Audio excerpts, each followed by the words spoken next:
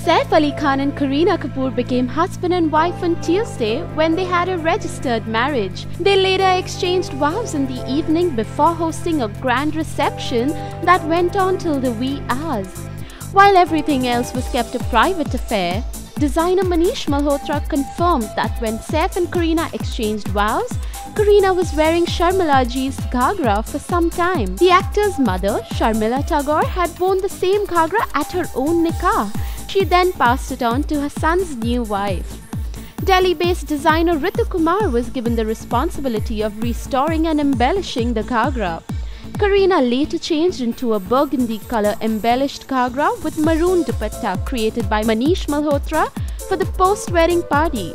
Saif Ali Khan donned a Banarasi brocade achkan by designer Raghavendra Rathore. Well, we wonder why the couple kept the wedding ceremonies under wraps when they were so verbal and open about their relationship in public.